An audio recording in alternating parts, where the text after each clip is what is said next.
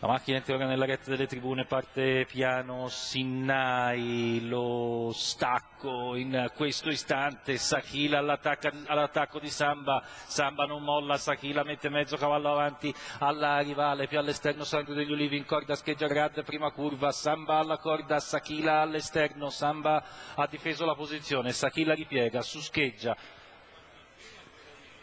poi Sandro degli Ulivi, Sueyad della Luna, Spritz Holz, Saturno AMG. 200 iniziali in 15 spaccato.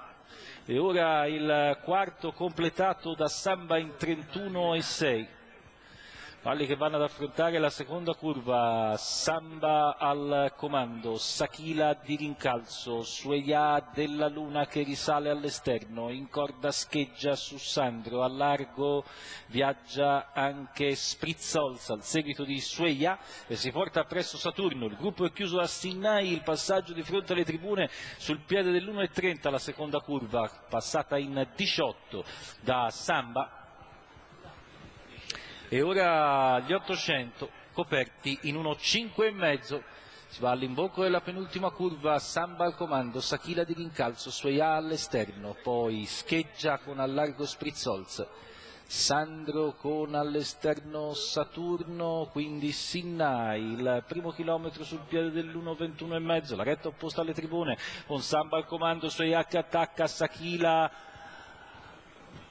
all'inseguimento delle prime due, poi scheggia Samba, passa la retta opposta in 14-6 e affronta al comando la curva finale, Sakila prova a rientrare, a Sueya della Luna, poi scheggia Grad, mancano poco più di 200 alla conclusione, Samba che se ne va per proprio conto, 14-6 alla curva finale, ingresso della retta di arrivo, Samba al comando, poi Sakila e Sueya in coppia alle sue spalle, Samba di Azzurra che prosegue in vantaggio e vince su Sakila per il terzo, scheggia su